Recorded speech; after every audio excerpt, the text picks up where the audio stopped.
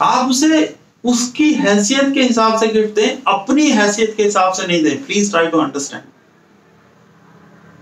इस चीज़ को समझने की कोशिश करें। उसकी हैसियत के हिसाब से गिफ्ट दें, अपनी हैसियत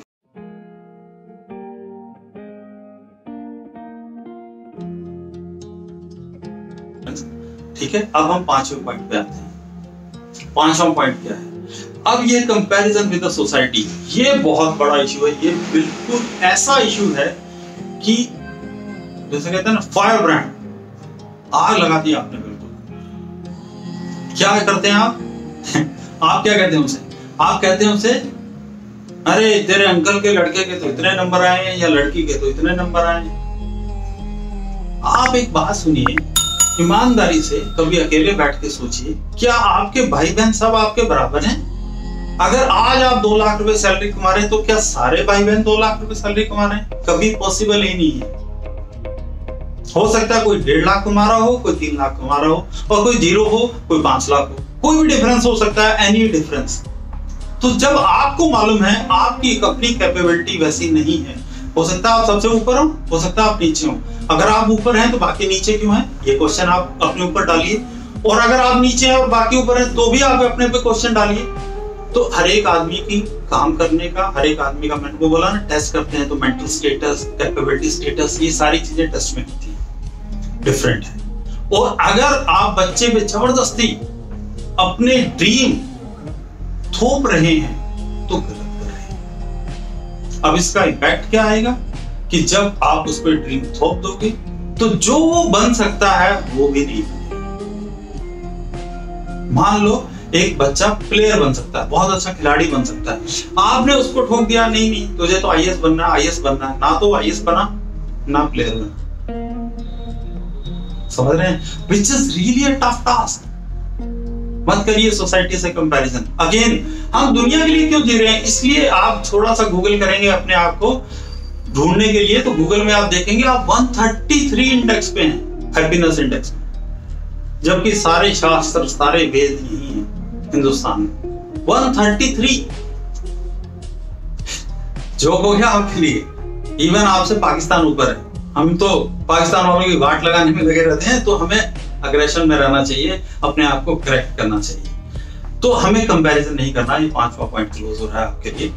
और अगर ये वीडियो लंबा होगा तो डेफिनेटली मैं दो स्लाइड में डाल दूँगा बट आप इसको पूरे को स्टडी करिए और इम्प्लीमेंट करिए। और या जो पेरेंट्स हैं, उनको ज़रूर शेयर करिए। अब आते हैं सिक्स पॉइंट सिक्स पॉइंट है verbally abuse statement verbally abuse statements are very ठीक है? उसमें क्या है प्रॉब्लम मान लो बच्चे ने बहुत मेहनत की और उसने 85 परसेंट नंबर अब आप इंटेलिजेंट ठीक है? ये दोनों जगह एप्लीकेबल है। प्लस माइनस में क्योंकि साइकोलॉजी में कुछ माइनस होता नहीं आपने आप कभी शायद 95 लाए तो आप छूटते उसको प्रेज करने के बजाय, कोई बात नहीं 85 है it's good milestone please go ahead maybe after some time you will touch 90 milestone and gradually you will grow i'm with you. This kind of activity करने के बजाय हम क्या बोलते हैं? ओ, तू तो बिल्कुल है में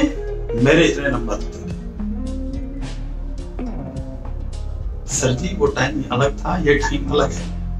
और गलती से आप अगर पास ही होते थे तो भी आप रोक झाड़ रहे हैं उसको मैं तो गिर पड़ के यहाँ तक पहुँच गया, तू तो पता नहीं क्या करेगा। मैं तो फिर भी ये कमा पा रहा हूँ, लेकिन तू पता नहीं क्या करेगा। बच्चा पूरा डिमोरलाइज और एक साल के बाद ऐसे मेरे पास बहुत केसेस आते हैं। बच्चे ने प्लस टू में बहुत अच्छा परफॉर्म किया। इंजीनियरिंग में एडमिशन हो गया इंजीनियरिंग छोड़ दिया।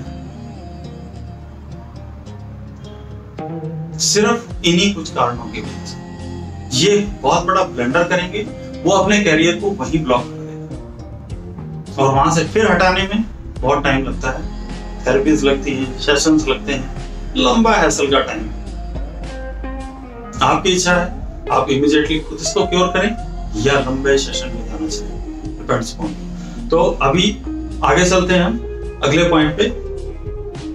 अगला पॉइंट क्या है? फोबिया हम फोबिया बहुत क्रिएट करते हैं। एक तो फोबिया हम बचपन से क्रिएट कर देते हैं। मम्मी को व्हाट्सएप देखना है फेसबुक देखना है बच्चा परेशान कर रहा है, छोटा बच्चा है। सो जा नहीं तो बहू आ जाएगा। वो बहू आज तक क्या है किसी को नहीं पता। बच्चे की हवा सेंट डर गया। बहू, ये क्या चीज़ है भाई? अब क्या है? उसने बहू देखा नहीं और बहू बच्चे की माँ ने भी नहीं देखा। उसने तो फेसबुक देखने के चक्कर में बोल दिया। अब वो जो बहू है, वो बैठ गया बच्चे के साथ। अब अंधेरा भी बहू दिखेगा उसे।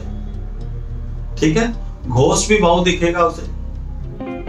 उसको हर चीज़ बहू दिखेगी और फिर वो बड़ा हो जाएगा। और एक लेवल की उम्र के बाद, बड़ा होने के बाद, उसको नई फोबिया शुरू हो जाएगी। कभी हाइट से, कभी वाटर से, कभी public phobia so many phobias are there अगर इस पे भी कहेंगे तो I can just elaborate these phobias to you तो इतने सारे फोबिया आपने सिर्फ़ एक बाउ से क्रिएट कर दिए। बच्चे को मत। फेसबुक बाद में देख लीजिए, उसको टाइम दीजिए। वो एनर्जी उसकी बहुत हाई होती है, ऐसे पीक में होती है। तो एकदम कंज्यूम करेगा, फिर डाउन हो जाएगा, सो जाएगा। इसलिए बच्चे जब छोटे होते हैं, ज़्यादा भी सोते हैं। वो जल्दी कंजम्पशन कर लेते हैं। कॉन्शियस माइंड नहीं होता, वो होल्ड करना नहीं जानते। और फिर सो भी जाते हैं। तो आपको थोड़ी पेशेंस रखने की ज़रूरत है। लेकिन अगर आपने पेशेंस नहीं रखी देन डेफिनेटली वो जो फोबियाज हैं, सर चढ़ के बोलेंगे। और फिर आप बड़े हो, जब वो बड़ा हो जाएगा, फिर आप परेशान हो जाओगे, यार, ये तो सारा दिन डरता रहता है। तो ऐसा ना अब आगे चलते हैं, अगले पॉइंट पे। फोबिया आपको समझ आ गया होगा। Next point which is false promise ये हमें आदत है। ठीक है? ये हमें बचपन से ही आदत पड़ जाती है। सहने की और कहने की। तो फॉल्स प्रोमिस मत फॉल्स प्रोमिस क्या है? बच्चे ने कहा, मुझे कुत्ता चाहिए। ठीक है? आप उसे समझाइए। घर छोटा है, नहीं आ सकता। कौन रखेगा? ट्रायल करके देखो, आप परेशान हो जाओगे। दिस काइंड ऑफ़ एक्टिविटीज़ आपने बोला, नहीं नहीं, अगले महीने ले आएँगे, अभी तो क्योंकि हमें जो टालना है ना उसे। अगर आपने ऐसा तीन चार बार कर दिया, मान लो उसने बोला रेस्टोरेंट में जाना है, बाहर खाना खाने जाना है। अब आपको लगा यार अभी नहीं जा सकते, हो सकता है फाइनेंशियल इश्यूज़ हो हो सकता है आप बिज़ी हो, कोई भी रीजन हो सकता है। You can give a confirm date अगर आप फाइनेंशियली अफोर्ड कर सकते हैं। और अगर फाइनेंशियली अफोर्ड नहीं कर सकते हैं तो कम से कम उसको समझाइए। टाइम लगेगा it will take a long process but लंबा प्रोसेस से जो जाता है, वो जीत भी जाता है। अगर आपने उसको फॉल्स कमिटमेंट दिए तो जब वो बड़ा होगा, आपकी कोई बात को वैल्यू नहीं देगा। कहेगा, मेरे माँ बाप तो ऐसे ही बोलते रहते इग्नोरेंस मोड में डाल देगा। एक पेरेंट्स की बात बता रहा हूँ, उसने कहा बच्चे को कि ये मेरा थोड़ा सामान ढूंढ दो। उसने कहा हाँ हाँ ढूंढ दूँगा। उसने कहा ढूंढा नहीं तूने? शाम को आके पूछा। उसने कहा, जस्ट इग्नोर जस्ट इग्नोर तो इग्नोरेंस मोड शुरू हो जाएगा। तो ऐसा कभी नहीं करना चाहिए। False commitment we should not do clear अब हम आगे चलते हैं। ये जो फॉल्स कमिटमेंट करने से क्या होता है? फ़ेज़ लेवल खत्म हो जाता है। वो पेरेंटल फ़ेज़ बिल्कुल खत्म कर देगा और बाहर चला जाएगा। Detachment process child abuse and bullying ये बड़ा डेंजरस है और आजकल सोसाइटी में बहुत ज़्यादा इसमें आपको 100 परसेंट प्रोटेक्शन की ज़रूरत है। माँ बाप को केयरलेस होना ही नहीं है। जब तक बच्चे का कॉन्शियस माइंड डेवलप नहीं होता। टीन एज होने के बाद उसको कॉन्शियस माइंड को आपको समझाना है। टीन एज से पहले आप समझा नहीं सकते। नहीं समझेगा। ठीक है? गुड टच बैड टच से ज़्यादा कुछ नहीं बता सकते अब्यूज में। तो आपको इन चीज़ों का बड़ा ध्यान रखना बिल्कुल, जैसे कहते हैं अम्ब्रेला की तरह उसके चारों तरफ़ रहना है। किसी पे फेस नहीं करना, किसी मतलब किसी पे। चाहे वो बहुत ही क्लोज रिलेशनशिप है, बहुत ज़्यादा क्लोज फेस मतलब उसको बोलने की ज़रूरत नहीं प्लीज़ ट्राई टू अंडरस्टैंड लेकिन आपको इस तरह हैंडल करना है कि उसको भी पता लगे और बच्चे को भी आप सेफ्टी अब आते हैं बुलिंग बुलिंग क्या है? बुलिंग इज़ ए प्रोसेस जहाँ पे बच्चे को कोई ना कोई उसकी वीकनेस के ऊपर पुश करता है पुल करता है, उसकी टांग खींचता है। और अगर आपने उसकी बात सुनी नहीं तो उसका कॉन्फिडेंस खत्म। किसी टेस्ट में अपियर होने से डरेगा। कहीं कंपटीशन देने से डरेगा फाइनल पेपर देने से डरेगा। दीज प्रॉब्लम विल स्टार्ट और एक टाइम के बाद उसको ओसीडी के होने के चांस भी बढ़ जाएँगे, क्योंकि ऑब्सेसिव हो जाएगा वो किसी चीज़ के लिए, जिस चीज़ से उसको रिलैक्सेशन मिलेगा। तो बुलिंग इज़ वेरी सीरियस आजकल तो ऑफेंस भी मान रहे हैं स्कूल भी काफ़ी टाइट हो रहे हैं बट आपको इसको बिल्कुल सीरियसली लेना है। अब बुलिंग के टाइम में आप कुछ पेरेंट्स ऐसा बोलते हैं, अरे छोड़ना यार, मुझे कितनी बार लोग बोल देते थे, मेरे को तो कुछ नहीं हुआ। अरे क्या हो गया, आपको नहीं हुआ? हो सकता है आपके पास दस भाई बहन हो हो सकता है आपके पास रिलेशनशिप अच्छी हो हो सकता है बहुत सारे कज़न हो। आजकल न्यूक्लियर फैमिलीज़ हैं। आप बच्चे को मोटिवेट की बजाय डिमोटिवेट कर रहे हो। आप उसकी सुनो।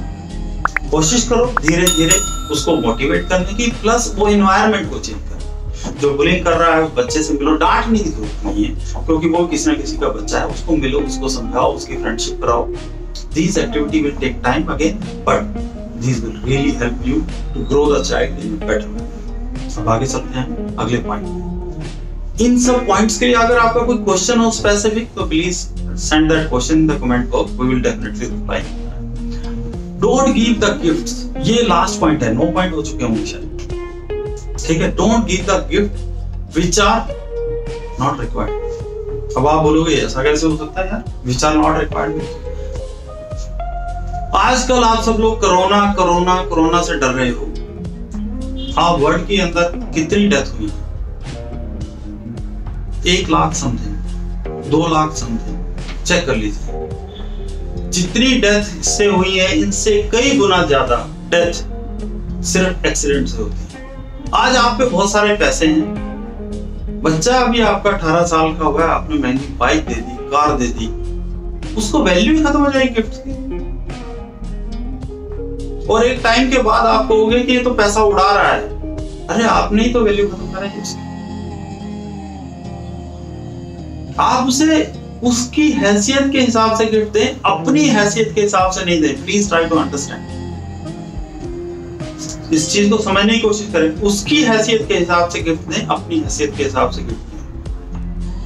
नहीं तो road rash accidents this kind of activity will start उसको वैल्यू खत्म हो जाएगी। कि करना क्या है?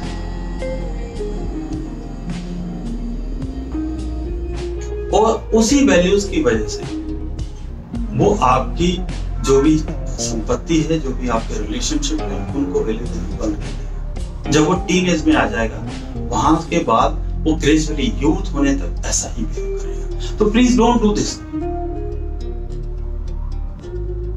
control करें अपने इमोशन को। जब वो पच्चीस, छब्बीस साल का हो जाएगा, अपने आप उसको वैल्यू समझ में आएगी तो उसको पता लगेगा। मेरे ऐसे कई लोग आते हैं जो बहुत ही अच्छे वेल मॉनिटरी अच्छे लोग हैं, लेकिन बच्चे नहीं पढ़ रहे। प्लस टू में फेल हो गया टेंथ में फेल हो गया, कोई ग्रेजुएशन में जाकर रुक गया अच्छा बना बच्चा, आपने लग्जरी दे दी उसके हाथ में। क्या करना चाहिए? ये दस पॉइंट्स राम बान की तरह अगर इन दस पॉइंट्स को आपने फॉलो कर लिया, ऐसे चुटकी बजाते आप बच्चों को ग्रो कर जाएँगे आपको पता भी नहीं। और अगर इन पॉइंट्स को आपने फॉलो अभी तक नहीं किया है तो आज से शुरू कर दीजिए, कोई देर नहीं होगी। जब जागो, तब सवेरा। खैर, आपको मेरा सिर्फ़ सजेशन है, बाकी तो फॉलो आप करते हैं। मैं ये आपको अगेन हो सकता है कुछ चीज़ें मेरी आपको हार्श लगे, क्योंकि ये ट्रुथ फैक्ट पे बनी हुई हैं और सच्चाई कहते हैं कड़वी होती है। तो इसको कड़वी गोली समझ के खा जाइए। ठीक है? हम जल्दी मिलेंगे अपने नए वीडियो के साथ। तब तक आप इस वीडियो को पूरा देखें। जो भी आपके क्वेश्चंस हो कमेंट बॉक्स में डालें। कोई स्पेसिफिक क्वेश्चंस हो, आप अलग से इनबॉक्स भी कर सकते हैं और स्पेशली उन लोगों से ज़रूर शेयर करें, जिन लोगों को इसकी ज़रूरत है। यही सोशल आप काम करें। तो लाइक करें सब्सक्राइब करें चैनल को शेयर करें। बहुत बहुत धन्यवाद। जल्दी मिलेंगे एक नए वीडियो के साथ। फिर मुलाकात होगी। My sir doctor Bhargav from our brain our धन्यवाद।